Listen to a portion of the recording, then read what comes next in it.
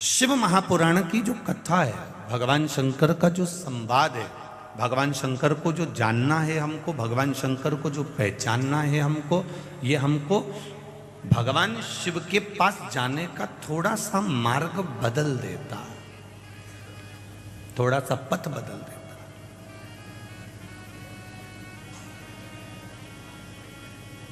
मैंने तेरे ही भरोसे, ओ बाबा तेरे ही भरोसे, हवा बिच उड़ती जावांगी बाबा डोर हटो छठी नाम में कटी जावागी भोले शंभू में तेरी पतंग भगवान शिव की कथा कर जिस शिव महापुराण को अपन श्रवण करने के लिए बैठे हैं, चौबीस हज़ार श्लोकों का एक अपार समुद्र है और इन चौबीस हज़ार श्लोक के अपार समुद्र में भगवान शंकर की उस अनूठी यात्रा में अपन सब सफ़र कर।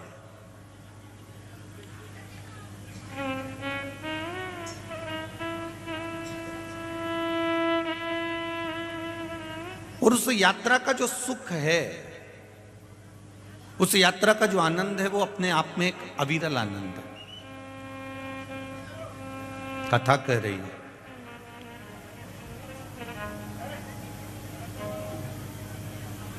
देवराज नाम का एक ब्राह्मण है, जो अपने कर्म से वंचित है। वो अपने कर्म से वंचित रहा। ब्राह्मण कुल में जन्म लेने के बाद ब्राह्मण कर्म को नहीं कर पाया। ब्राह्मण कुल में जन्म लेने के बाद वह ब्राह्मण कर्म से वंचित रह गए। ये ज़रूरी नहीं है कि ब्राह्मण बनने के बाद आप कर्म कांड करें, ब्राह्मण बनने के बाद आप किसी मंदिर को संभालें, या ब्राह्मण बनने के बाद आप किसी मंदिर में पूजन अर्चना करें। ब्राह्मण बनने के बाद में ये ज़रूरी है कि हम बन सके उतना किसी ना किसी को अच्छा फल प्रदान करें, भगवत भजन प्रदान करें, राम नाम, कृष्ण नाम, शिव नाम प्रदान करें।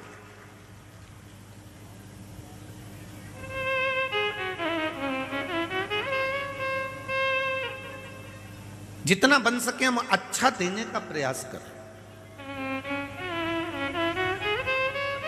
क्योंकि ब्राह्मण मार्गदर्शक भी होते हैं। पर देवराज नामक का जो ब्राह्मण था, इसने एक गलती करी और वो गलती बड़ी विचित्र थी। खुद के लिए अगर थोड़ा बहुत जो कमा रहा था, खुद के लिए ला रहा था, वो खुद का जो लेकर आ रहा था, उसमें तो उसको सुख मिल रहा था। पर जब वो गलत संगत में पड़ गया, वैश्यावृत्ति में, जुए में, मांसाहार में मदिरा पान में गलत गलत जगह पर जब वो पड़ गया, तब उसको धन की अधिक ज़रूरत पड़ने लगी। और जब धन की अधिक ज़रूरत पड़ने लगी तो वो धन लाने के लिए आतुर हुआ। अच्छा पहले भी कथा में काज फिर कह रहे हैं आप लोगों से। पेट भरने की जवाबदारी मेरे भोलेनाथ जी की है, क्योंकि जन्म उसने दिया है तो मृत्यु भी वो देगा, और पेट उसने दिया है तो भरेगा भी वही। पेट भरने की जवाबदारी देवादिदेव महादेव की है, पर तुम्हारे घर की पेटी भरने की जवाबदारी देवादिदेव महादेव की नहीं है। अब पेटी अगर तुम्हें भरना है तो तुम अपने हिसाब से भर सकते थोड़ा छल कर कर, थोड़ी बेईमानी कर कर, थोड़ा कपट कर कर कोई थोड़ी बहुत निंदा आदि कर कर, थोड़ी बहुत किसी की प्रशंसा कर कर, थोड़ा बहुत कहीं ना कहीं, किसी ना किसी रूप में पेटी अगर बनना हो तो बात दूसरी है कि आप पेटी भरना चाहते हो। पर पेट उसने दिया है तो भरने वाला भी वही है।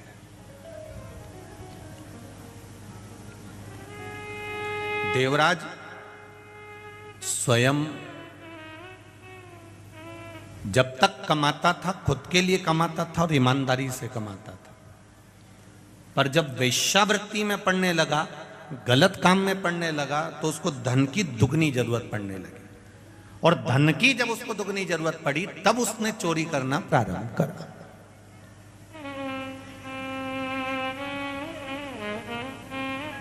तब उसने चोरी करना प्रारंभ करा।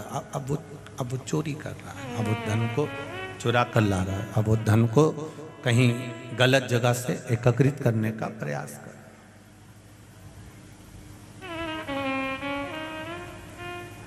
शिव महापुराण की बात कथा एक बात और कहती है। आपके भरण पोषण की जवाबदारी महादेव की है तो आपकी संग में अगर आपकी धर्म पत्नी जुड़ी है तो उसकी भी जवाबदारी महादेव की बच्चे जुड़े हैं, बच्चों की भी जवाबदारी महादेव की माता पिता जुड़े हैं। माता पिता की जवाबदारी भी महादेव की है।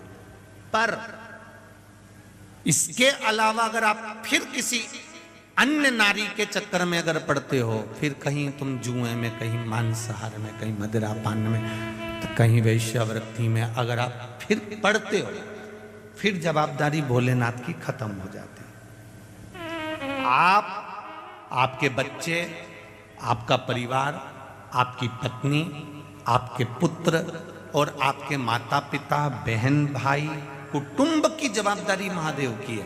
पर तुम उस धन को गलत जगह पर लगाना प्रारंभ कर दिए। उसने दिया था पेट भरने के लिए, उसने दिया था बच्चों की शिक्षा के लिए, उसने दिया था। होते हैं कई लोग, अभी कहीं ना कहीं लोगों को कुछ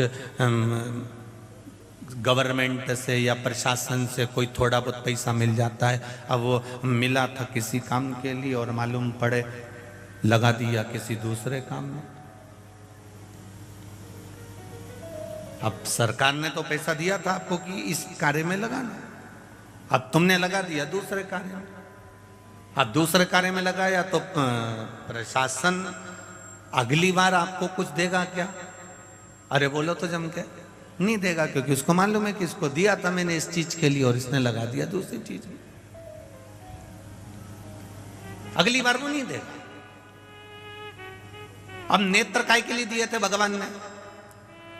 वो भगवान भी प्रशासन से कम नहीं हो। काय के लिए दिए थे उसने? इन नेत्रों से क्या करना? भगवान का बोलो बोलो जम के बोलो। दर्शन करना। इन नेत्रों से दर्शन करिए। इन नेत्रों से से पोथी पुराण पढ़िए शिव महापुराण, रामायण, भागवत, गीता, इसका स्मरण करिए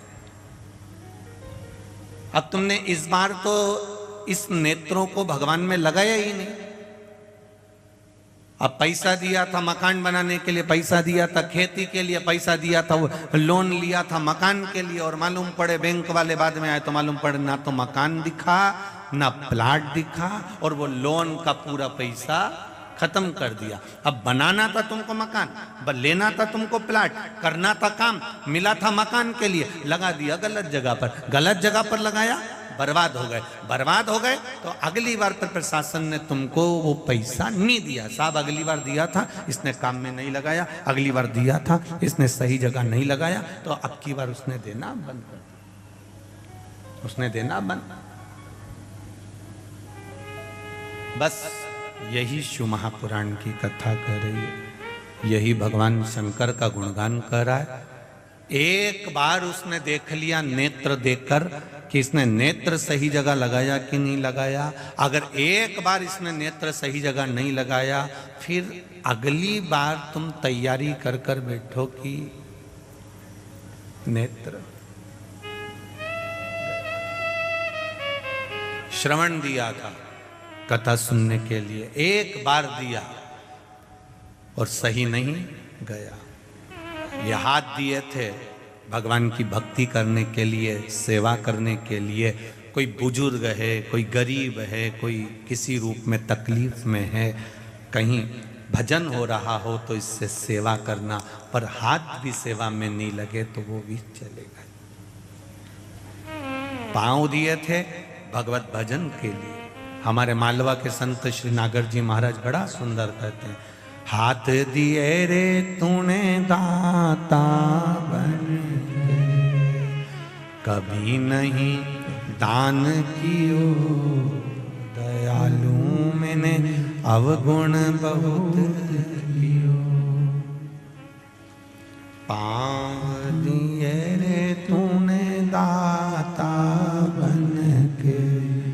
कभी नहीं तीरथ कियो दयालु मैंने अवगुण बहुत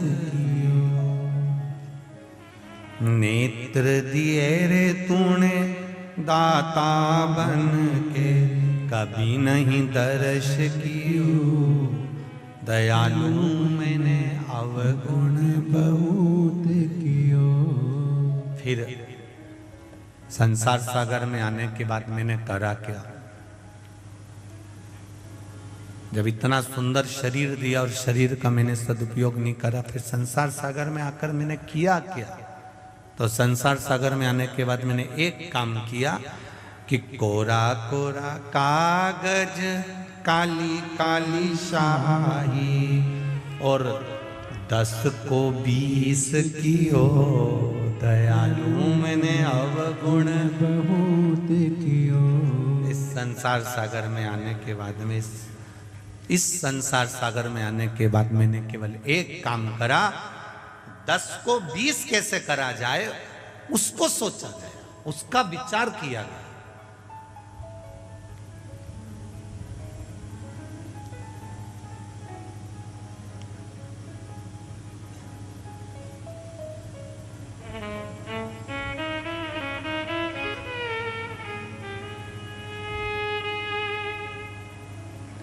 ब्लड की जाँच कराने पर मालूम पड़ जाता है कि बीमारी कौन सी है।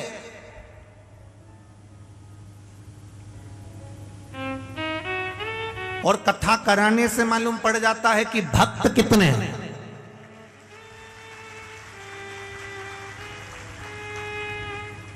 ब्लड की जाँच कराने से बीमारी का पता चल जाता है और शिव महापुराण की कथा करवाने से, राम कथा, कृष्ण कथा, भगवान की अविरल भक्ति की कथा कराने से यह पता चल जाता है कि इसके हृदय में भाव कितना इसके हृदय में, इसकी चित्तवृत्ति में परमात्मा का भजन कितना आपको दिखेगा। सात दिन आप भी यही हो, हम भी यही हैं। कई कई ऐसे हैं, सात दिन सुबह सात बजे से छह बजे से यहाँ जगह संभाल कर बैठे रहेंगे और कई ऐसे रहेंगे, एक बजेगी, तब दस मिनट पहले घर से निकलेंगे, चार पाँच को दरवाजे पे परेशान करेंगे, आठ दस को रास्ते में परेशान करेंगे, तब अपनी गाड़ी बढ़ाते हुए, ठोकते हुए, परेशान करते हुए, प्रशासन के लोगों को, चाहे पुलिस प्रशासन के हो चाहे समिति के लोग हों, चाहे जो सेवा कर रहे हैं उनको हो, पचास बार अपनी दबेबदारी दिखाकर तब जाकर अंदर जाके बैठेंगे। कभी इनके जैसा तब कर कर देखो, पाँच बजे से छह छह बजे से, सात सात बजे से। जरा देखो, बैतुल वालों के लिए कथा नहीं है। हम कहेंगे, बैतुल वाले अगर कथा के पंडाल में नहीं आ सकते हैं तो एक बार रात को आकर इन भोलेनाथ के भक्तों का दर्शन कर कर जाना कि इनका भाव कितना शुद्ध है। ये दिखावे से नहीं आते, ये केवल दो रोटी मिलेगी, पड़े रहेंगे नी भी मिली तो भी आपसे कहने नहीं जाएँगे कि हमको भूखे हैं या भोजन। आपको हर दो तीन घंटे में कुछ चाहिए। ये सवेरे सात बजे से जगह संभाल कर बैठते हैं। रात तक केवल सात बजे से जगह संभाली, एक बजे कथा चालू हुई। अब विचार करना, सात बजे से एक बजे तक का समय। उठते हैं नहाए, वापिस आकर बैठ गए। एक जैसे बैठे, क्योंकि दूसरा महापास में बैठा है तो लेट भी नहीं सकते, ना आड़े हो सकते। एक जैसे बैठे हैं, एक आसन से बैठे हैं, इंतज़ार कर रहे हैं, एक बजे का, एक बजे कथा चालू हुई, चार बज जाएगी, जब आप देखना, पाँच, साढ़े पाँच बजे आकर देखना, तब इनको थोड़ा बहुत लेटते हुए नज़र आओगे, रात्रि होगी, भोजन करा, भजन करा, रात को एक बजे तक इनके भजन, कीर्तन चलते रहते हैं, फिर सुबह हुई प्रातः में स्नान करा, फिर भजन में लग जाते हैं। चौबीस घंटे श्री शिवाय नमस्तुभ्यम जप रहे हैं। हमने तपस्वी का दर्शन करा, कोई कहता है हम संतों का दर्शन करते हैं, कोई कहता है हम नर्मदा जी के घाट पर परिक्रमा करने वालों का दर्शन करते हैं, कोई कहता है हम उसका दर्शन करते हैं, कोई कहता हम साधु का दर्शन करते हैं, कोई कहता हम तपस्वी का दर्शन करते हैं। हम कहते हैं ये भी तपस्वी से कम नहीं, ये साधु और सन्यासी से कम नहीं, जो बैठकर भगवान शिव का गुणगान कर रहा भगवान शिव की अविरल भक्ति को धारण कर रहा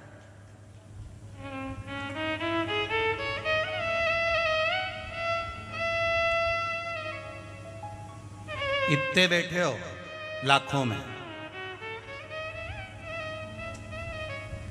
ये कईयों के पत्र आए और ये पत्र और भी पढ़े तो शुरुआत है। कईयों के आए। आप भी कथा सुन रहे हैं, ये भी कथा सुन रहे हैं। दो अंतर, इसके अंतर्गत में एक अंतर का विशेष ध्यान रखना। जितनी देर सुनना है, दिल से सुनना, घर से चलो तो कहकर आना मुझे शिव महापुराण की कथा सुनने जाना है। मैं आराम से जहाँ जगह मिल जाएगी, वहाँ सुनूँगी और भगवान की अविरल भक्ति को धारण करूँगी। मुझे मालूम है, सात दिन अगर मैंने कथा का रसपान कर लिया तो मेरा महादेव मेरी ज़रूर सुनेगा, ये निश्चित है। मुझे कथा सुननी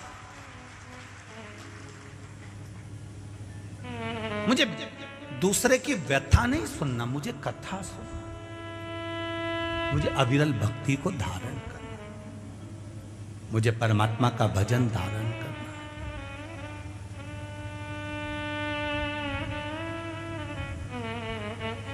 और जब तक वो नहीं चाहेगा, तब तक आपको आनंद की अनुभूति नहीं हो सकती।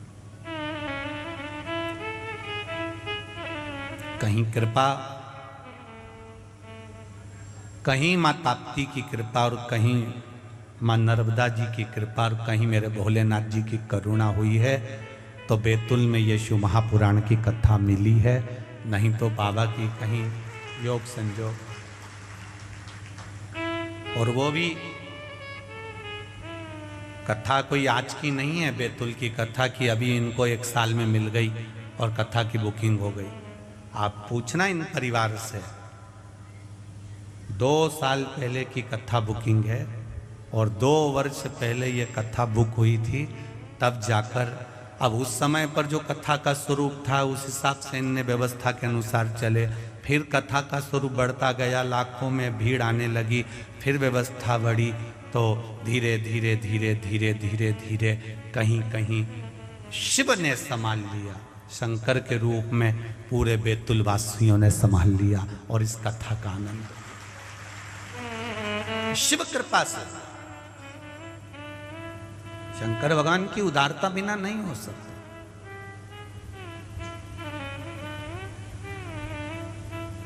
शिव कथा कह रहे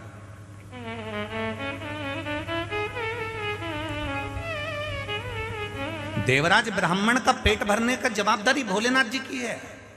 आपकी और हमारी पेट भरने की जवाबदारी भोलेनाथ जी की है। हमारे परिवार का भरण पोषण करने की जवाबदारी हमारे भोलेनाथ जी की है। पर। तुम वेश्या का संग पकड़ लो और वेश्या को तुम यहाँ से ले जा ले जा कर देना, चालू कर दो तो वो जवाबदारी मेरे भोलेनाथ जी की नहीं है। पूरा सुखमय तुम्हारा परिवार चल रहा है, अच्छे से तुम्हारे परिवार का गुजारा चल रहा है, और तुम्हारे परिवार के गुजारा चलते चलते जब तुम्हारे परिवार में कहीं ना कहीं धन के चक्कर में अगर द्वेष हो रहा है, धन के चक्कर में अगर लड़ाई हो रही है, क्लेश हो रहा है, समझ लेना कि परिवार का कोई व्यक्ति इस धन को ज़रूर कहीं गलत जगह पर लगाना चालू कर दिया, इसलिए मेरे महादेव ने देने से पहले अपने हाथ को रोक लिया। ज़रूर हमारा धन कहीं गलत जगह पर लग रहा है। और जिसके यहाँ धन आते जा रहा है, आते जा रहा है, समझ लेना, हमारे परिवार में सब लोग भजन करने वाले हैं, सब में प्रेम बहुत है, स्नेह बहुत है, इसलिए मालिक भी देने में कमी नहीं रख रहा। मेरा भोलेनाथ दे बहुत जब कहीं धन की कमी दिखे, जब कहीं संपदा की कमी दिखे, जब कहीं तुम्हें लगे कि धन कम हो रहा है, हमारा पैसा हमको कहीं ना कहीं कम दिख रहा, व्यापार कम हो गया, कमाई कम हो गई तो समझ लो कि कुछ ना कुछ वो पैसा गलत जगह पर जाना चालू हो गया। वो धन गलत जगह पर जा रहा। है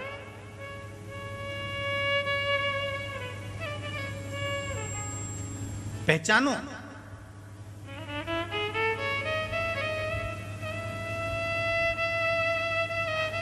गाय, लक्ष्मी और बेटी। गौमाता, लक्ष्मी और बेटी, ये तीन जब गलत जगह पर जाती है तो देने वाले को रोना पड़ता गाय तुमने ब्राह्मण को दी, कोई दादाजी चले गए दादी जी चली गई, कोई डोकरा डोकरी निपट गया, और तुमने दे दी ब्राह्मण को। ब्राह्मण लेकर गए गौ माता को? जब तक गौ माता ने दूध दिया, उसको संभाल कर रखी। फिर बाद में मालूम पड़े, वो गाय तीसरे को दे दी। तीसरे से चौथे को गई, चौथे से पांचवे को गई। वो बाद में गाय कसाई के हाथ में पहुँच गई। गौ माता जब कसाई के हाथ में पहुँची तो कटते समय जब रोती है तो बद्दुआ देती है। वो बद्दुआ न ब्राह्मण को लगती है, न किसी दूसरे को लगती है। जिसने संकल्प छोड़ा था गौदान का, वो बद्दुआ उसको लगती है कि तूने मुझे दान दिया था तो मैं गलत जगह कैसे पहुँच गई? उसी तरह गौ दान जिसने दिया, उस दान करने वाले को रोना पड़ता है और कन्या दान जिसने दिया और बेटी अगर किसी गलत लड़के के चक्कर में फंस गई और तुमने कह दिया, साहब, हमने तो जमाई अच्छा देखा था और बेटी को दुख है, बेटी को कष्ट है तो उसको भी रोना पड़ता, कन्या दान करने वाले को रोना पड़ता। दो कन्या दान वाले कितने रोए हैं, जरा विचार करिए, इस ताप्ती शिव महापुराण कथा एक दक्ष प्रजापति और दूसरे नंबर पर थे विश्वकर्मा जी।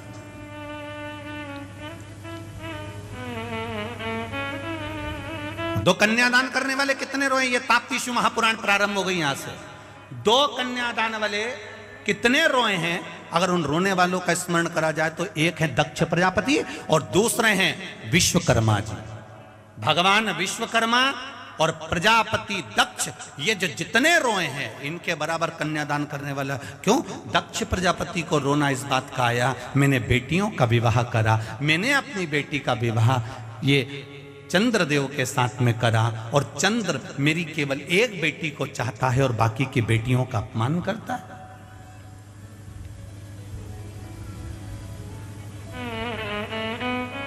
सारी बेटियाँ दक्ष प्रजापति के सामने आकर खड़ी हो गई। पिताजी,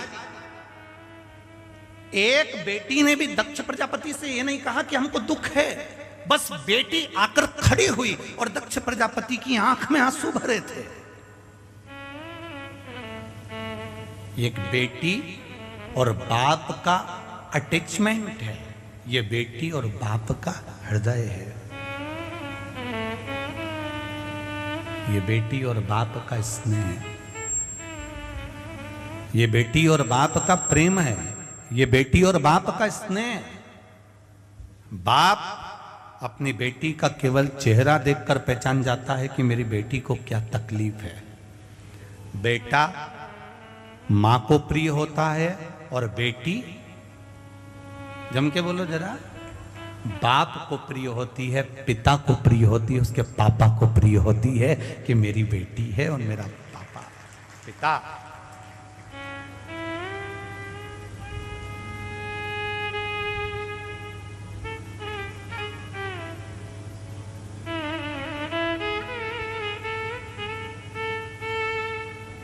मायके का मतलब मालूम होता है सबको?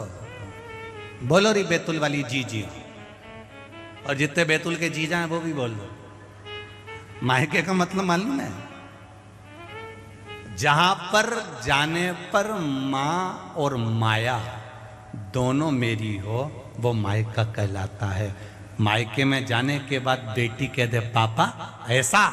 तो पत्थर की रकील मेरी छोरी ने कहा, अब तो ऐसा करूँगा ही सही अब करूँगा ऐसा ही। माँ मेरी मेरी माता ने जो कहा है, मैं उसके अनुसार करूँगा। जहाँ पर माँ और माया दोनों मेरी है, वो मायका है। शादी हो गई, दूसरी जगह चली गई ससुराल, फिर भी जब वो मायके में आए तो उसको लगना चाहिए कि जीजी तुम्हारा ही है सब कुछ। अलमारी खोल दूँ, साड़ी निकाल दूँ लो पहन लो। पर तुम्हारे अलमारी खोल दूँ और साड़ी निकाल दूँ, पहन लो, ये तो बहुत दूर की बात हो गई रही मेरी बेतुल वाली वालियों बहुत दूर की हो गई। तुम्हारे कमरे में आकर अगर तुम्हारी ननन बैठ जाए तो भाभी का मुँह भगोना हो जाए। तुरंत। भाभी का मुँह भगोना। ये जीजी में अक्ल नहीं है क्या? पत्नी ने अपने पति से कहा, भाभी ने अपने पति से कहा, तुम्हारी बहन में अकल नहीं है क्या रखती भर भी जब देखो जब मेरे कमरे में आकर बैठ जाती है। भाई को कहना चाहिए, ये सब उसका है। कुछ नहीं मांगा उसने। घर से जब गई थी, पिता ने कन्यादान में जो दे दिया, एक फ्रीज सात हज़ार की अलमारी, वॉशिंग मशीन, मिक्सर भी ऐसा दिया जिसमें मूंगफली का दाना भी नहीं पिसाया। ये सब जो दिया था, थोड़ा बहुत सामान और देकर एक बार में विदा कर दिया था।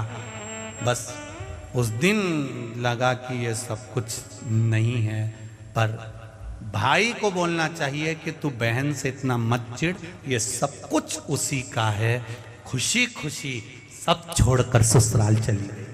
सब छोड़।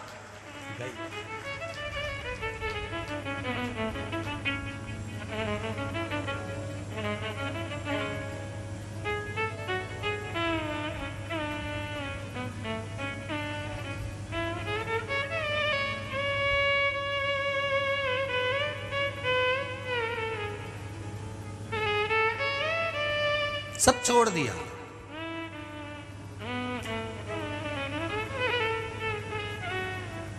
दक्ष प्रजापति को मालूम है मेरी बेटी को दुख क्या है? पर मेरी बेटियाँ मुँह से तो कहे कि मुझे तकलीफ़ ही है। विश्वकर्मा जी को मालूम है कि मेरी बेटी को संज्ञा को दुख क्या है? पर संज्ञा एक बार तो मुँह से कहे कि पिताजी दुख ही है।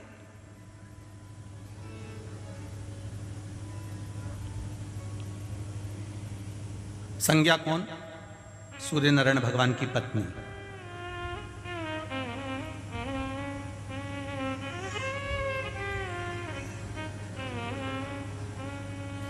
विश्वकर्मा जी को मालूम है मेरी बेटी संज्ञा को दुख है, और दक्ष प्रजापति को मालूम है कि मेरी बेटियों को दुख है, पर मुँह से कहे तो सरी।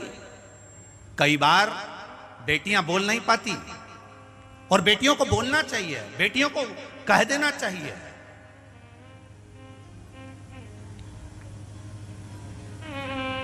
और पिता का प्रेम किसको कह सकते हैं? पिता की करुणा किसको कह सकते हैं?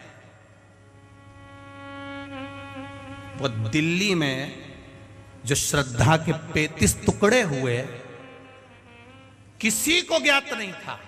केवल एक पिता का दिल कचोट गया और पिता ने सोचा बहुत दिन से श्रद्धा की खबर नहीं आई।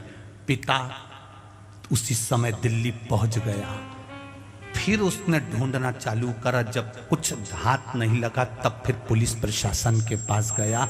तब जाकर खुलासा हुआ, उस बाप के सामने की बेटी के पैंतीस टुकड़े हो गए। बाप और बेटी का अटैचमेंट किसको कहते हैं? बेटी और बाप का स्नेह किसको कहते हैं? बेटी की आँख में आँसू आते हैं और बाप पहचान जाता है कि मेरी बेटी क्यों रोई है? उसकी आँख में अश्रु कैसे आ गए? उसके नैनों में जल कैसा आ गया?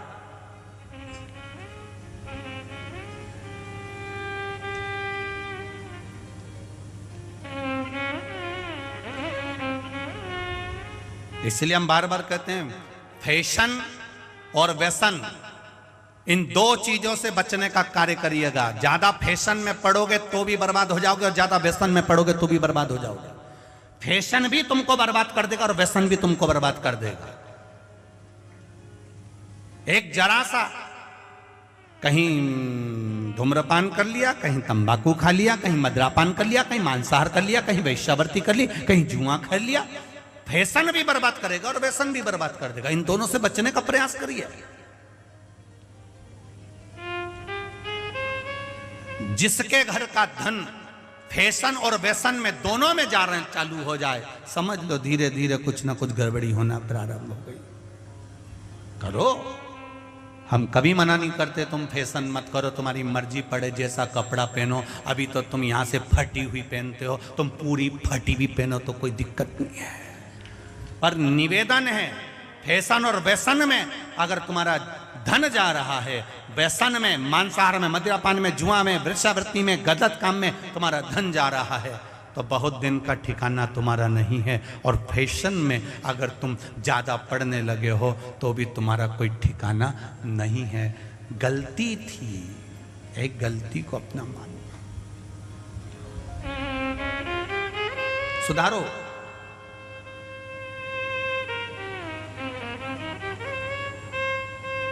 बहुत मर्यादा से हम लोग कथा कर रहे हैं। आज पहला दिन है, इसलिए शांति से। हमें भी देखना पड़ता है कि भगोनी के चावल कैसे हैं।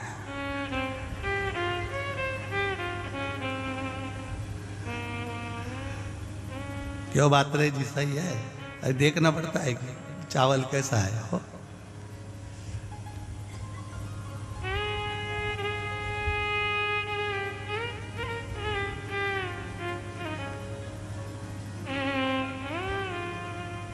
पर चावल जोरदार तो है, जब ये तो बैठने की जगह तक नहीं बची, सब खड़े हैं, पीछे ढेर लगे हुए अपार।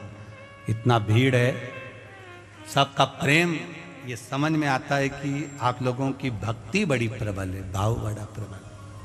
हृदय। और जो भजन का बल है, यही बाबा की कृपा से आपका खूब आनंद में रहना चाहिए। खूब।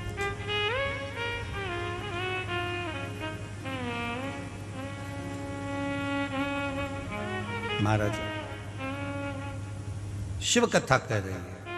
भगवान शंकर की करुणा कर रही है। पिता पुत्री का मुख देखकर पहचान जाता है, तकलीफ़ क्या है?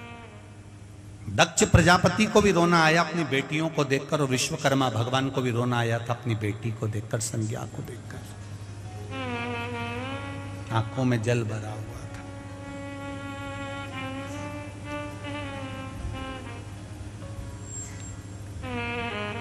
नयन में जल भरा हुआ है।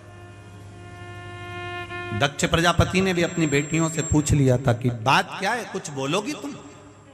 तीन बार मेरे पास में सारी की सारी बेटियाँ आ चुकी हैं, मेरी पूरी कन्याएँ आ चुकी हैं, पर तुम बोलती क्यों नहीं हो? हुआ क्या? चंद्र ने कुछ कहा तुमको? कुछ बोला तुमको? नहीं छोटा मोटा दुख होता है ना तो ये भारत भूमि की जो मेरी बेटियाँ हैं छोटे मोटे दुख को तो सहन कर लेती हैं छोटी मोटी तकलीफ़ को सहन कर लेती हैं छोटे मोटे कष्ट को सहन कर लेती हैं। भारत की बेटियाँ बोलती तब है जब अति हो जाती है।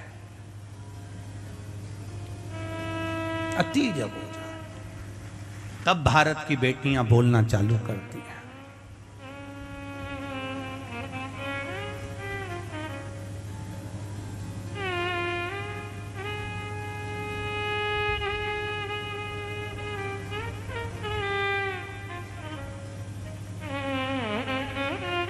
हैं बोला कन्याओं ने कि ये चंद्रदेव जो हैं, हमारे पति जो हैं केवल एक रोहिणी को चाहते हैं, बाकी किसी को नहीं चाहते। जो प्रसंग यहाँ आकर अड़ा था, वो प्रसंग विश्वकर्मा जी के सामने आकर खड़ा हुआ था। जब संज्ञा छोटी थी, विश्वकर्मा जी की बेटी जब छोटी थी सूर्य के तपन में खेला करती थी।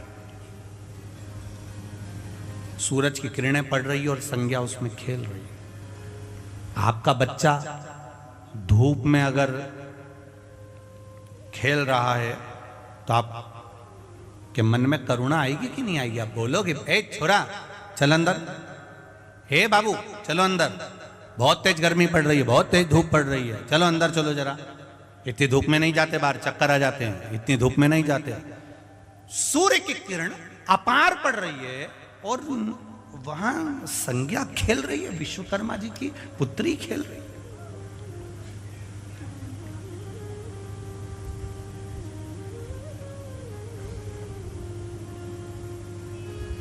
विश्वकर्मा जी की धर्म पत्नी ने आवाज़ लगाया, संज्ञा? ए संज्ञा, इधर आओ। संज्ञा आने को तैयार नहीं, खेलती रही तब विश्वकर्मा जी ने उसको पकड़ा, पकड़कर अपने कक्ष में लेकर आए। विश्वकर्मा जी ने कहा, संज्ञा, इतना तपन हो रहा है, इतना धूप पड़ रही है, इतनी गर्मी पड़ रही है, इतना सूर्य की किरणें पड़ रही है, और तुम उस सूर्य की किरणों में खेल रही हो। विश्वकर्मा जी ने अपनी धर्म पत्नी से कहा, मुझे लगता है, हमारी बेटी को सूर्य की किरणें अच्छी लगती है। इसलिए तपतपाती हुई किरणों में, सूर्य की तपतपाती हुई किरण के अंतर्गत धूप में हमारी बेटी चली जाती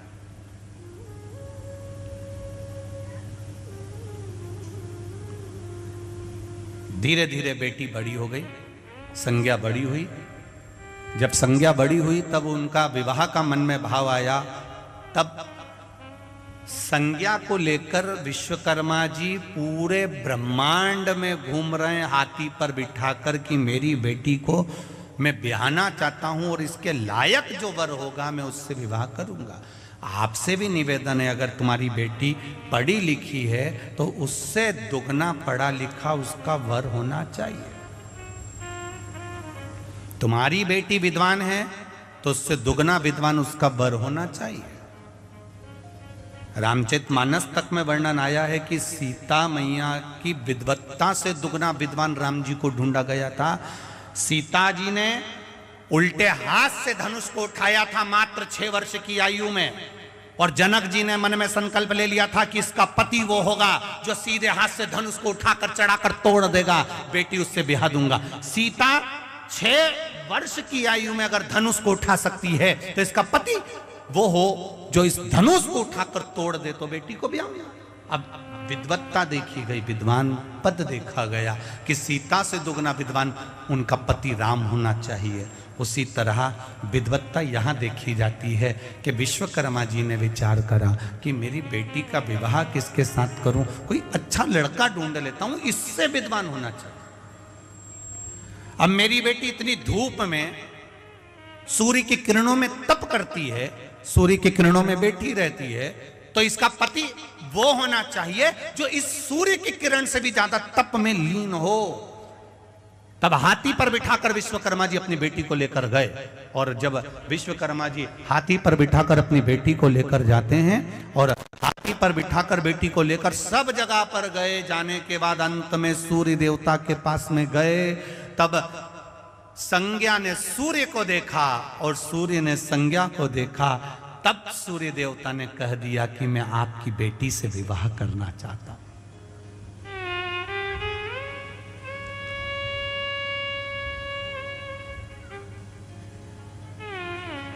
क्या आपकी बेटी से मैं विवाह कर सकता हूँ? संज्ञा ने पिताजी की ओर देखा और पिताजी की ओर देखकर पिताजी ने कहा, संज्ञा ये सूर्य नारायण आपसे विवाह करना चाहते हैं। आप विवाह को तैयार हो। संज्ञा कहती है मेरे पिता ने मुझे पाल पोस कर बड़ा करा। मेरे पिता ने मुझे आज इत, इतनी उम्र दी है। मेरे पिता ने मुझे अपनी गोदी में बिठाकर मुझे रोटी का निवाला खिलाया है।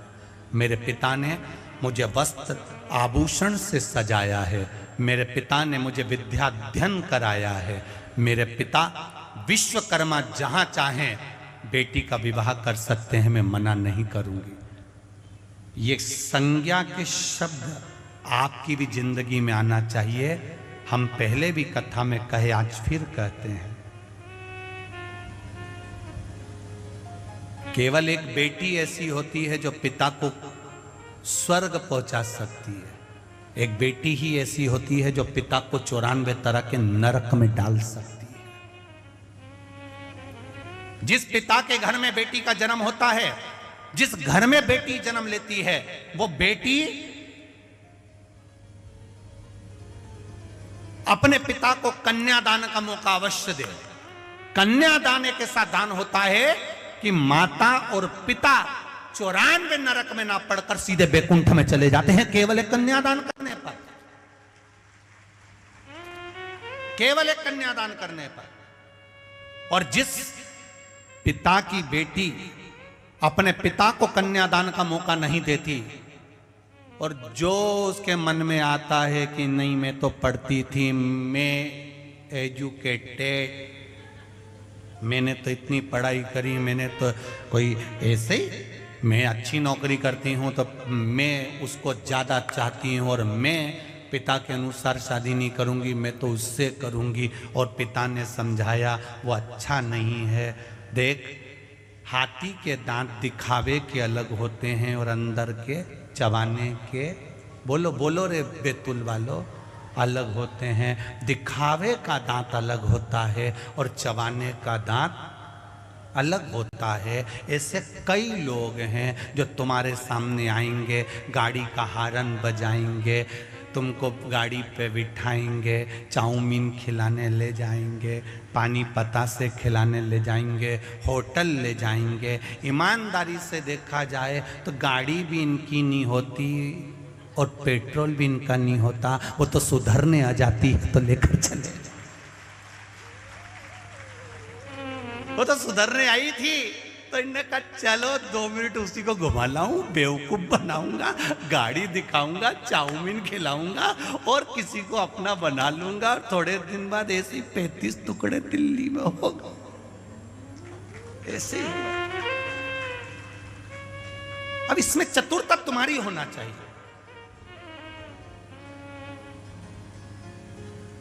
चाउमीन खा लो, मना नहीं। पर शादी तो मेरा पिता कहेगा, उसी से करूँगी कन्यादान का मौका, मैं अपने पापा को दूँगी। को दूँगी कन्यादान का मौका, मेरे अपने बाबुल को, अपने पिता को दूँगी। ये अपने भीतर का संकल्प होना चाहिए, अपने भीतर का एक संकल्प जागृत होना चाहिए कि मैं कन्यादान का मौका मेरे पिता को दूँगी, मेरा भाई भले मेरे माँ बाप की सेवा करे चाहे नहीं करे, भाई जीते जी माँ बाप को सेवा करके बेकुंठ भेजे, ना भेजे, मेरा भाई पिंडदान करे, ना करे, मेरा भाई कुछ दान दे, ना दे, पर मैं जीते जी अपने पिता के सामने बैठकर मेरा बाबुल मेरा कन्यादान करेगा। जिस दिन कन्यादान बेटी का होता है, उस दिन बेटी पिता को बेकुंठ भेज देती है।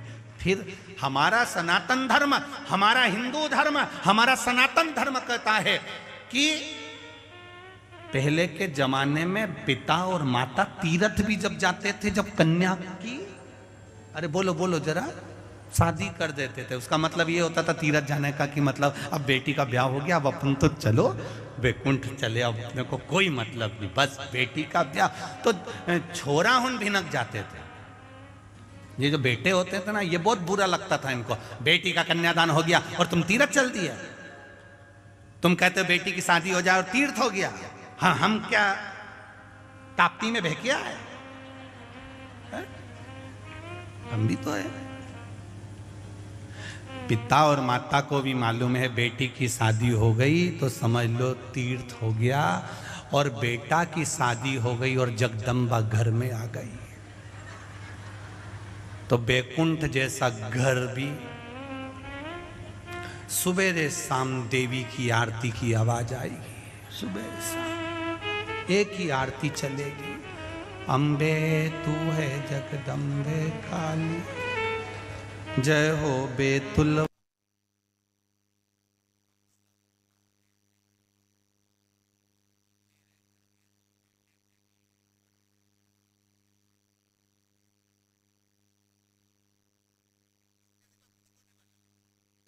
उधर से आवाज़, कहीं उधर से आवाज़।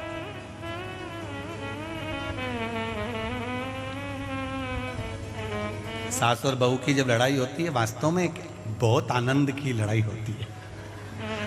बहुत आनंद की होती है। कभी कभी उनको तुम देखना, इधर से कमरे में से सांस निकल गई। मैंने तेरे से पहले किया था।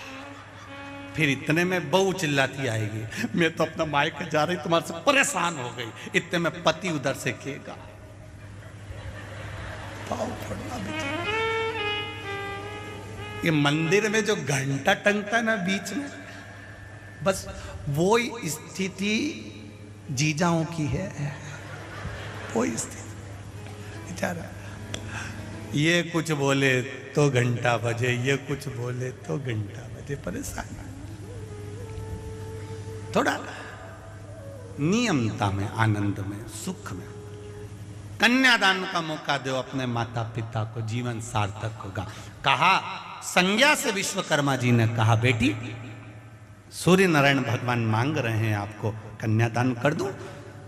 संज्ञा ने कहा, जहाँ मेरा पिता चाहे, वहाँ कन्यादान करो।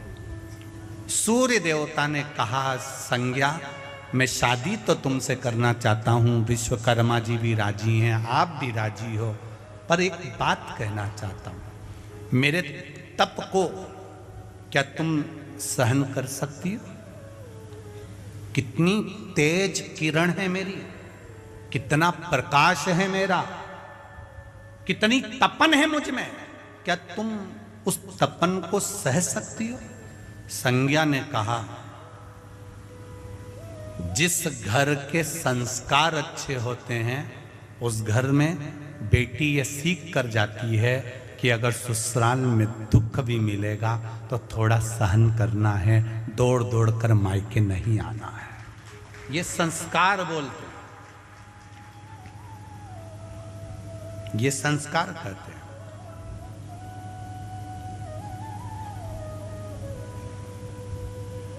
विवाह पक्का हो गया। संज्ञा की शादी भी हो गई सूर्य नारायण भगवान से। क्या जोरदार विवाह हुआ? खूब जोरदार। अब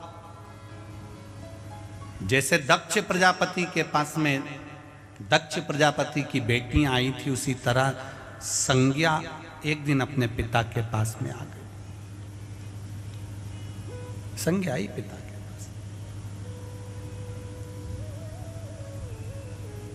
और जाओ, अपने पिता के पास दिल से जाओ। एक बेटी जैसे अपने पिता के पास में जाती है, एक बेटा जैसे अपने पिता के पास में जाता है। शिव महापुराण की कथा कहती है, संसार का प्रत्येक मनुष्य शिव को पिता मानकर उसके पास में जाया करे और अपने दिल की बात अपने देव अधिदेव महादेव से कहा करे। अपने दिल की बात।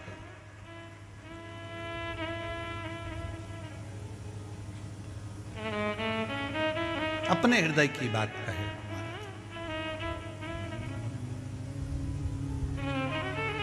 के लिए, संपूर्ण ब्रह्मांड के लिए शिव जी पर चढ़ाया गया एक लोटे का जो महत्व है, वो जीवन का सुख है। जीवन का एक आनंद है। भक्ति करो, भजन करो, स्मरण करो भगवान पर आश्रित होकर करो। पाप करो तो ये सोच कर करना, जब जब तुम्हारा मन पड़े ना पाप करने का तो एक बार किसी धोबी का घर देखिएगा धोबी के घर में क्या होता, कपड़े को कूटते कूटते कि नहीं कूटते? धोबी बराबर दुनिया में कोई गुरु नहीं हो सकता। कितना ज्ञान देता है उसके बराबर दुनिया में कोई ज्ञान नहीं दे सकता। जितना हमें धोबी से ज्ञान प्राप्त होता है। वो तो कहीं कहीं के लोगों ने कहीं इस जात के व्यक्ति को, कहीं उस जात के व्यक्ति को या समाज के व्यक्ति को छोटा बता दिया, पर हमारा शास्त्र कभी किसी समाज को, किसी वर्ण को, किसी धर्म को, हमारा समाज कभी छोटा नहीं बताता, हमारा सनातन धर्म कभी छोटा नहीं बताता। यहाँ तक हमारा शास्त्र कहता है, गुरु धोबी, शिष्य कपड़ा, साबुन सिर जनहार और सत्संग शिला से धोइए, निक से रंग अपार।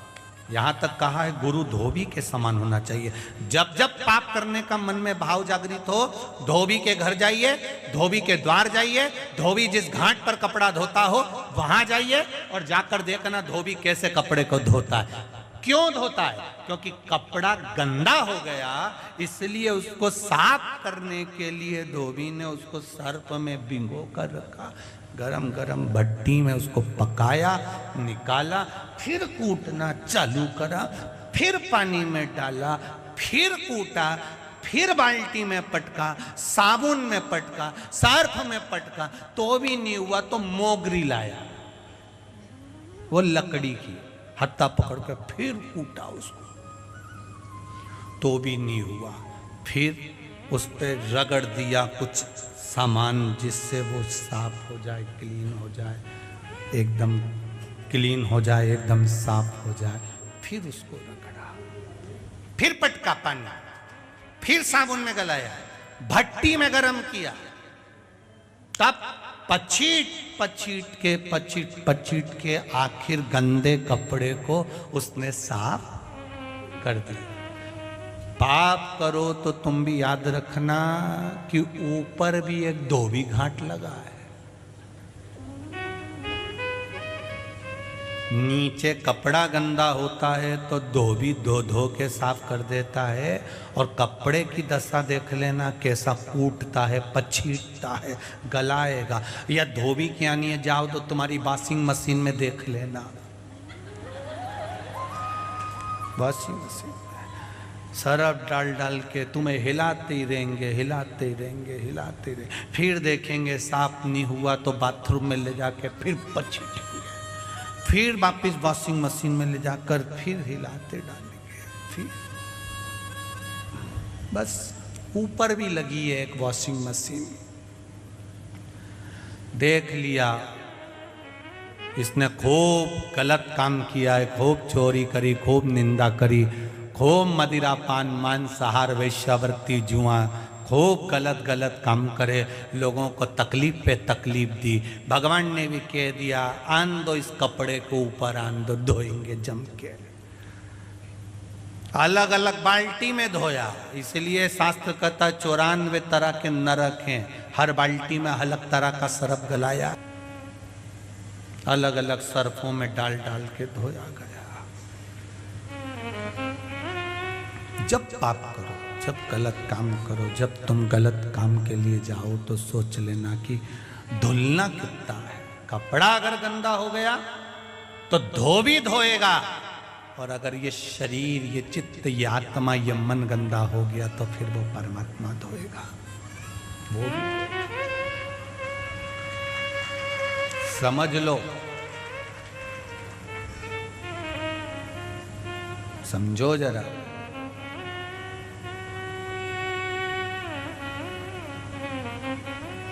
शिव कथा कर रहे संज्ञा देवी पति के साथ में निवास करने लगी।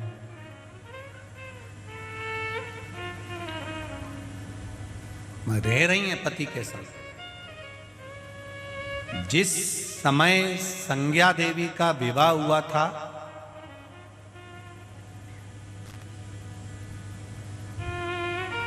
उस समय सुंदर। जलवृष्टि का समय था तो सूर्य की तपन नहीं मालूम पड़ी। सूर्य की तपन नहीं मालूम।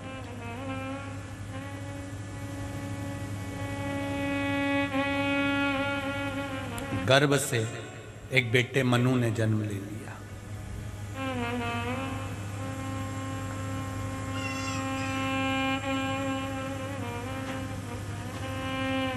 संज्ञा देवी का दूसरा गर्भ था। और तेज सूर्य की किरणें, गर्मी का समय, प्रचंड सूर्य की किरणें थी। आवाज़ लगाया सूर्य नारायण भगवान ने। संज्ञा, ओ संज्ञा। संज्ञा, ओ संज्ञा। आवाज़ लगाया सूर्य नारायण भगवान ने, संज्ञा देवी, पति के पास आना चाहती है, पर सूर्य की किरण इतनी प्रबल थी कि संज्ञा की आँखें बंद होने लगी। पति को क्रोध आया, अभी तुम हमारे नज़दीक में थी, और आज हम आपको बुला रहे हैं और आपके नेत्र बंद संज्ञा। आप अपने पति से नेत्र तक नहीं मिला पा रही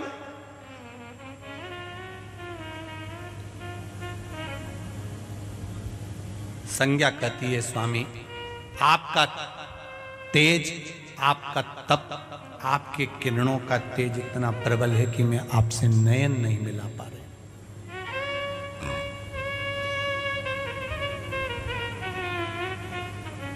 भगवान के सामने संज्ञा देवी ने अपने दोनों नेत्रों को हाथों से ढक रखा है। गर्भ में जो संतान है, जो विराजमान है, नेत्रों से नेत्रों को बंद कर रखा है, हाथों से ढक रखा है तो सूर्य नारायण भगवान को थोड़ा सा क्रोध आ गया कि अपने पति के सामने खड़ी होकर भी अगर तुम नेत्र बंद कर रख, कर रखो तो ये श्रेष्ठता नहीं है।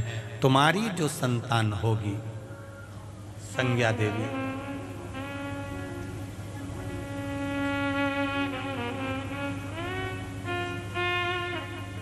कालदंड को धारण करने वाली हो।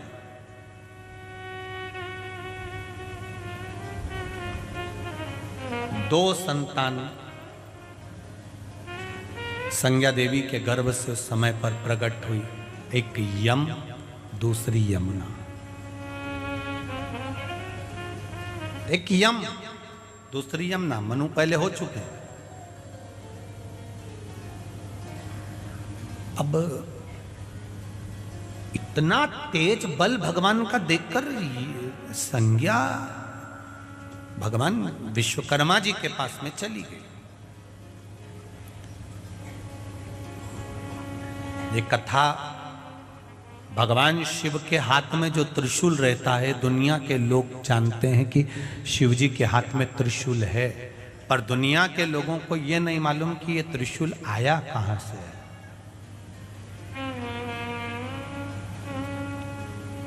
इस त्रिशूल को बनाने वाला कौन है? इस त्रिशूल को लाने वाला कौन है? ये त्रिशूल आया कहाँ से? भगवान नारायण के पास में भगवान शिव का जो सुदर्शन चक्र है, वो आया कहाँ से? उसको लाने वाला कौन है? यमराज के पास में जो कालदंड है, वो कालदंड आया कहाँ से? उसको लाने वाला कौन है? संज्ञा देवी दौड़ती हुई अपने पिता के पास में आ गई। पिताजी पिताजी पिताजी बैठी मौन थी चुप। उसके मुख से कोई शब्द नहीं निकल रहा था। वो एकदम मौन हो गई, चुप हो गई, स्थिर हो गई।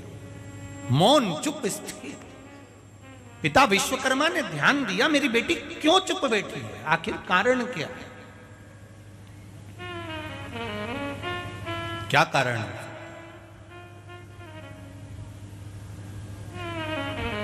शरीर पर चोट लगे तो वो नज़र आ सकती है, पर मन में आत्मा को जब चोट लगती है तो वो नज़र नहीं आती, वो अंदर से घात करती जाती है। घात कर रही है। बाहर की चोट देख सकते हो, पर भीतर की चोट नहीं देख सकते। यहाँ पर कई कई लोग ऐसे बैठे हुए हैं कई लोग कहते हैं कि शिव पुराण सुनने आए। हम कहें, शिव पुराण सुनने नहीं आए। भीतर से कोई घात लगा होगा, अंदर से कोई टूटा होगा। तो शंकर भगवान की कथा में जाकर बैठा होगा। शिव पे भरोसा कर कर के मैं कथा सुनूँगा। मेरे भीतर की चोट समाप्त हो जाएगी। मेरे भीतर का कोई सुख मुझे प्राप्त हो जाएगा। ये ये ये भीतर का भाव है।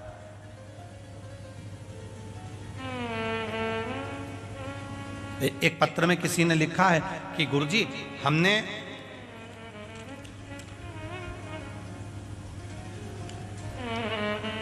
बिमला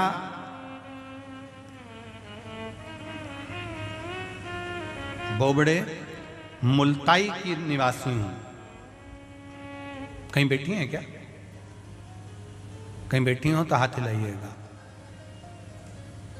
कहीं बैठी हो तो हाथ ज़रूर हिलाइएगा। अच्छा इधर हैं क्या? ठीक है। दोनों हाथ हिला दो। श्री शिवाय नमस्तुभ्यम। हाँ दोनों हाथ हिला दो एक बार। बिमला, वो बड़े मुल्ताई के निवासी हूँ, गुरुदेव।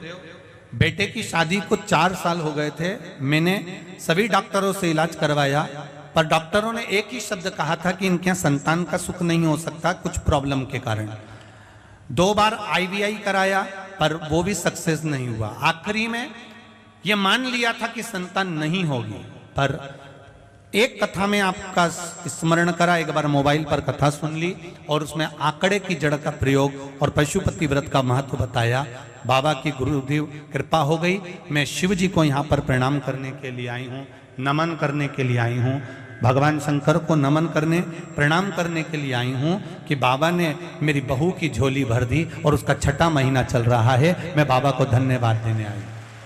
शिव, बैठिए बहन, बैठिए। शिव पुराण कर रही है, भगवान शंकर का संवाद कर है, शंकर की कथा कर रही है, शिव महापुराण की कथा करी कि दिल से, चित्त से, मन से, वृत्ति से हम जिस भाव में भगवान को भजते हैं, भगवान उस भाव में हमें प्राप्त हो।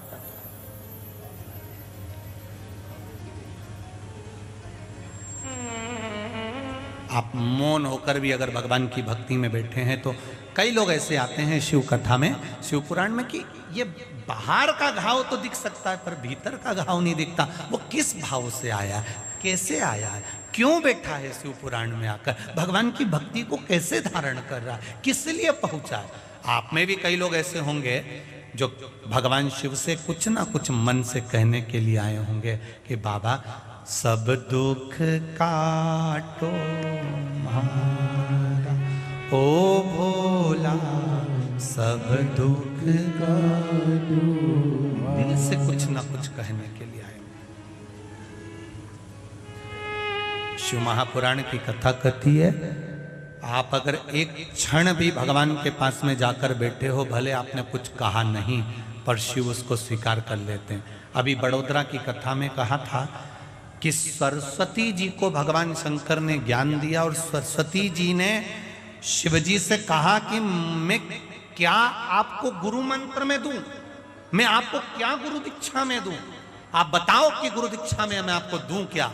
शंकर भगवान ने कहा, केवल सरस्वती एक काम कर, मेरे दरवाजे पर जाकर बैठ जा। जो मेरे मंदिर के अंदर प्रवेश करे, जो मेरे शिवालय में प्रवेश करे, जो शिव के दरवाजे पर आए, वो भले कुछ ना बोले, पर उसके हृदय की बात तुम मुझे बता देना। बस इतनी कृपा करना। आप जाकर बैठे हो, शिव को मालूम है कि क्यों आए क्यों पहुँचे किस लिए आया झोली मेरी तंग है। तेरे यहाँ कमी तेरी कृपा से हूँ यहाँ। ये तेरी दया, ये तेरी उदारता, ये तेरी कृपा है।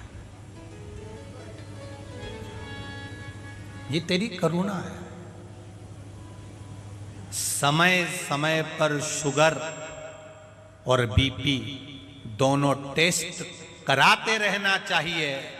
उसी तरह समय समय पर शिव महापुराण में आते रहना चाहिए।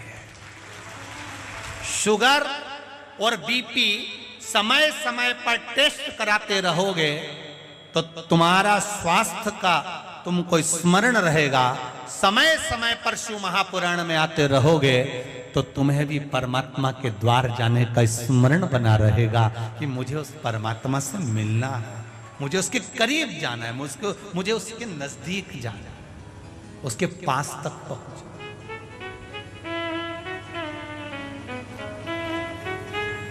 महाराज, संज्ञा आई।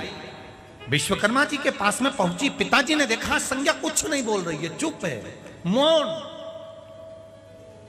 घर का बेटा बेटी अगर मौन है, घर के माता पिता अगर मौन है, घर के भैया भाभी अगर मौन है, घर के ननन नंदोई अगर मौन है, घर का कोई व्यक्ति, सास ससुर अगर मौन है तो दूसरे को पूछ लेना चाहिए, आप चुप क्यों दिख रही हो मम्मी? माँ, क्या बात है? आज आप मौन हो, पिताजी, आज आप बोल नहीं रहे। भैया, आज आपके मुख पर वाणी नहीं, शब्द नहीं। दीदी, आज क्या बात है जो आप मौन हो? क्या हुआ? जो आपको ऐसा लग रहा है कि आप चुप बैठे हुए, कारण क्या है? कारण को तो बताओ। अच्छा कथा में कोई मौन होकर बैठा है तो यहाँ मत पूछना कि क्यों चुप बैठी है। नहीं तो तुम यहीं चालू हो जाओ। यहाँ तो चुप ही रहो तो अच्छा है। भगवत भजन वैसे तो देखा, बेतुल में अभी कथा में आज सुबह जब कथा चालू हुई, जब से अभी तक ये देखने को मिला, एकदम साइलेंट। एक सुई भी गिर जाए तो मालूम पड़ जाए कि कहाँ गिरी है। इतने प्रेम से आप लोग कथा सुन रहे हो। बस यही भाव है आपका, हृदय। ये ये भगवान शिव के प्रति आपका प्रबल विश्वास, दृढ़ता और भरोसा यही होना चाहिए। विश्वास। संज्ञा। तू मौन क्यों है? तेरे चुप रहने का कारण क्या है? तू चुप क्यों है? क्या कारण है कि तू चुप है? संज्ञा ने कहा, पिताजी, बस मेरे मन की एक बात है। अभी तक तो नहीं कह पाई हूँ, पर आज मैं आपसे कहना चाहती हूँ, आज आपके सामने निवेदन करना चाहती हूँ। कुछ बोलना चाहती हूँ। बोल संज्ञा। संज्ञा ने कहा, पिताजी, मेरे पति सूर्य नारायण का तेज बहुत प्रबल। इस कारण मैं उनके सामने जाकर खड़ी नहीं हो पाई तो उन्होंने मुझे श्राप दे दिया।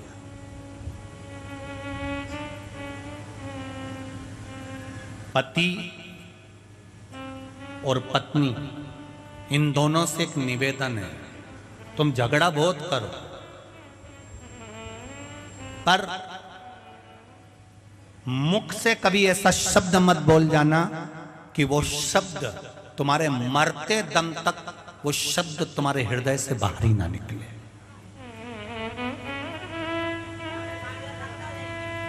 ऐसा शब्द मत बोल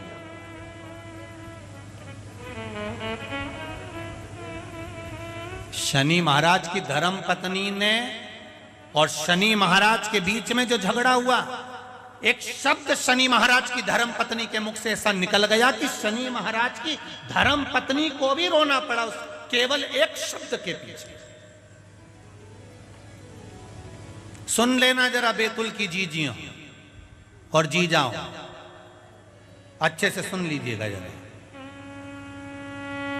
एक शब्द। पति और पत्नी में झगड़ा हो मना नहीं, लड़ाई हो मना नहीं अब शब्द बोले मना नहीं, पर ऐसा कोई शब्द मत बोल जाना कि वो ज़िंदगी भर हृदय से निकले। ऐसा शब्द कभी मत बोलना ज़िंदगी में कि वो शब्द बाहर ही नहीं निकलता। बार बार लेकर याद आ जाए कि मेरी पत्नी ने मुझको ये बोला था, मेरे पति ने मुझे ये बोला था। आखिरी तक भी वो शब्द याद आ जाते हैं कि वो जब जब यार लड़ाई होती है, तब तब वो शब्द निकल जाता है। लड़ाई हुई और वो शब्द निकल आया। मेरे को सब मालूम है, तुमने पहले क्या बोला? मेरे से तो बोलना ही मत वो शब्द बार बार याद आता है। ऐसा कोई शब्द अपनी ज़िंदगी में सामने ना आ जाए। शनि महाराज की धर्म पत्नी ने केवल एक शब्द कह दिया था, तुमने मुझे अच्छे से देखा नहीं। मैं श्राप देती हूँ शनि महाराज आपको। आप जगह अपनी पत्नी को सही से नहीं देख पाए तो मैं तुम्हें श्राप देती हूँ कि तुम्हारी दृष्टि का दोष हो जाए। तुम जिस पर दृष्टि दो, वो नष्ट हो जाए। अब बताओ शनि महाराज को ऐसा श्राप दिया, ऐसा श्राप दिया कि शनि महाराज के सामने भी अब उसकी पत्नी भी खुद नहीं पहुँच सकती थी। बोलो, सही है कि गलत है? अब उन्हें क्या श्राप दिया कि तुम्हारी दृष्टि जिस पे पड़े वो नष्ट हो जाए, बर्बाद हो जाए, तुम्हारी दृष्टि कुदृष्टि हो जाए, ये ये श्राप। अब अब पत्नी जब शनि महाराज के सामने जाती थी, शनि महाराज नीचे दृष्टि कर लेते थे। पूछ लिया पत्नी ने, तुम मुझे देख के नीचे दृष्टि क्यों करते हो? पति ने कहा, सब तेरा ही दिया हुआ है। सब तेरा दिया हुआ है।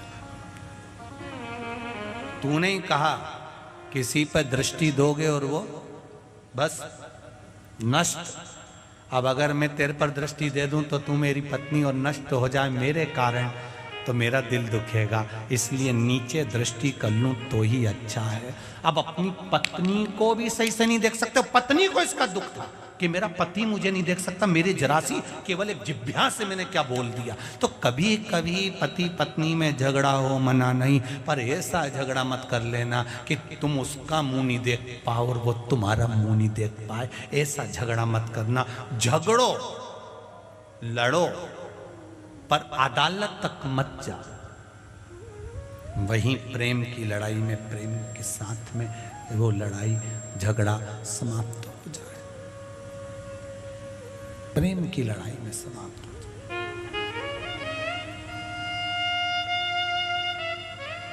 अब शनि महाराज को ज़्यादा दुख होगा कि उसकी पत्नी को ज़्यादा दुख होगा? बोलो बोलो जरा जम के बोलो रे।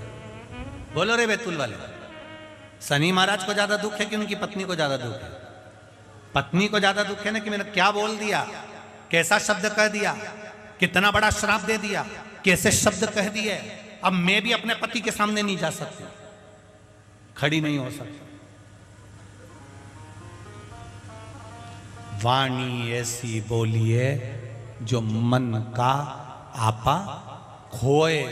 और आज के जमाने में वाणी ऐसी बोली है जो जम के झगड़ा होए और उससे मत बोलिए जो तुमसे तगड़ा होए। वाणी बोलो, पर ऐसी वाणी बोलना जिससे अपने हृदय चित्त में, अपने आनंद में, अपनी भक्ति में, अपने भाव का आनंद, सुख प्राप्त हो सके। वाणी का सुख मिल सके।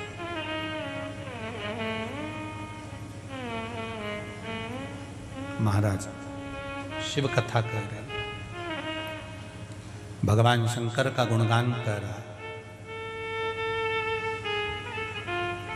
पिताजी, मेरे पति सूर्य नारायण का तेज बड़ा प्रबल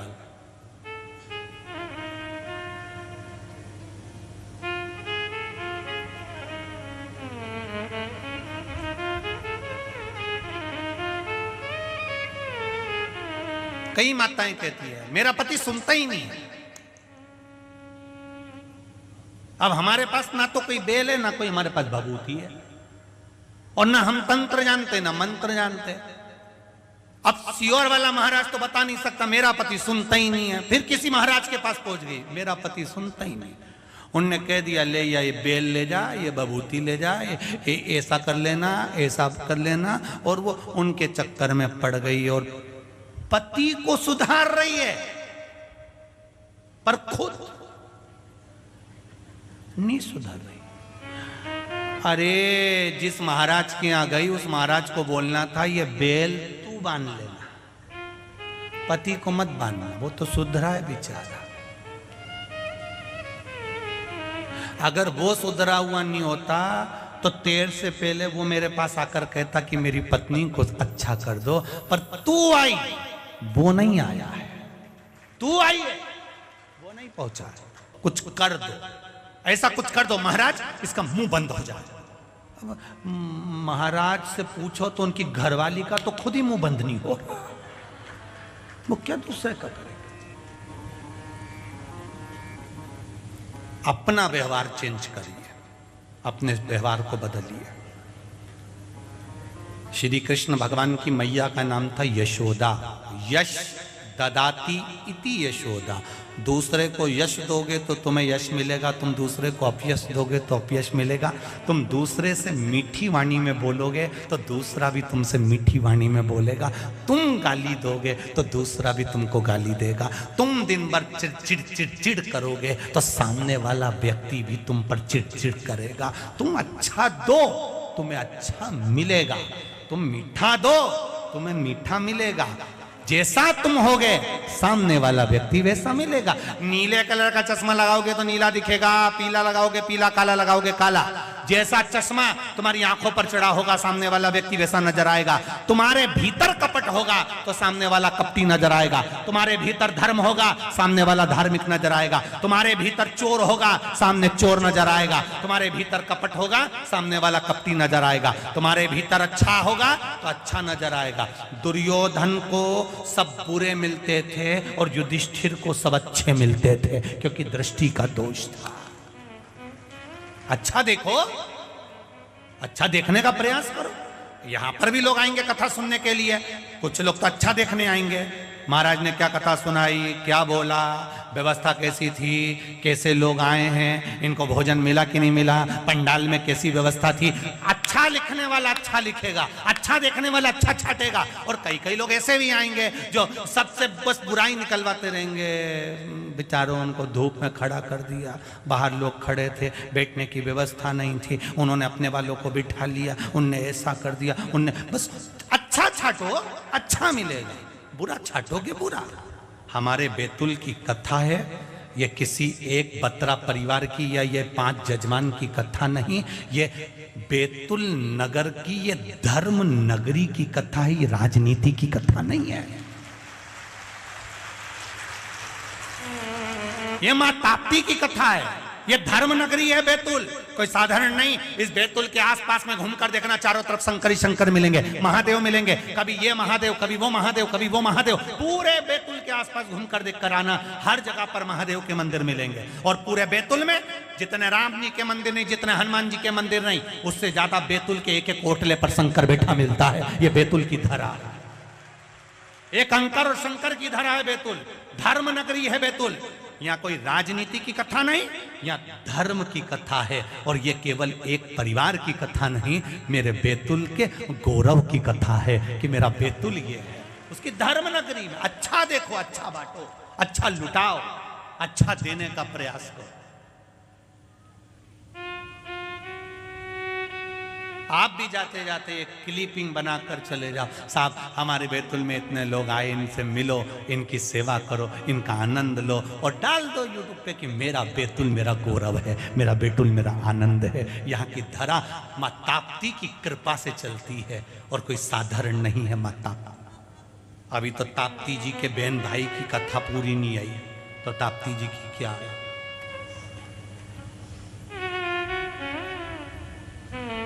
और माता ताप्ती को तो जान दो, ताप्ती जी के पति की ही केवल कथा सुन लोगी तो तुम्हारी ज़िंदगी सबर जाएगी। अपनी बेटी को तो जाने तो पहले जमाई कोई सुन लोगी ना तो जीवन सबर गया। केवल माता ताप्ती के पति की कथा, कितना कितना तप करा था माता, ताप्ती के पति देवता ने, कितना, घोर तप हज़ारों वर्ष का। कोई साधारण तप करा?